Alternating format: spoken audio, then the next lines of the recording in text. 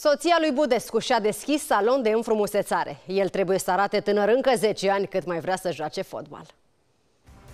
Budescu i-a primit cu șampanie și prăjituri pe colegii care au fost alături la deschiderea salonului de înfrumusețare. La 33 de ani, Budescu se simte tinerel.